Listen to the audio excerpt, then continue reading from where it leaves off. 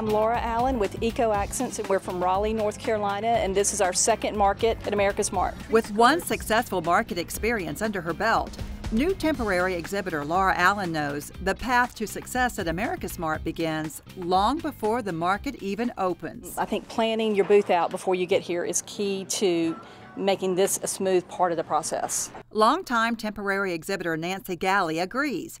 Pre market planning is crucial, and she says the AmericasMart staff makes it easy. One of the first things is to take advantage of all of the deadlines that AmericasMart gives you as a guideline. Start your pre market checklist with planning what you'll need for setting up your booth and displaying your products. Have all of your curtains, your tablecloths, everything, all your tables, furnishings, have that all ordered ahead of time.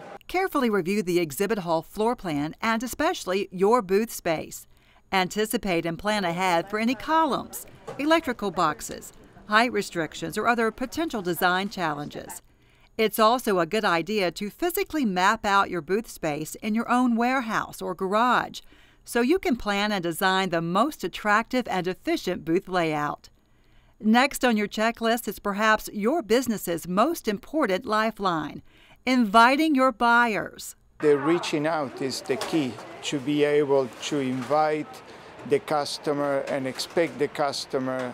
It's the sparks that need to be lit and before the show what really makes the event successful. You can advertise your business and promote your AmericasMart booth number through your pre-market mailings to current and prospective customers. And then for yourself, you need to go ahead and pack your products up, whatever you're bringing to AmericasMart. Be sure to pack your items in an efficient and organized way labeling each crate for easy shipping.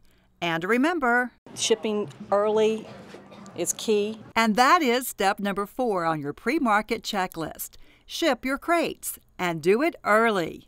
If you ship your products to the Fern warehouse within the 45 day receiving window using AmericasMart Logistics, we will receive, store, and then deliver your crates to your booth at no charge.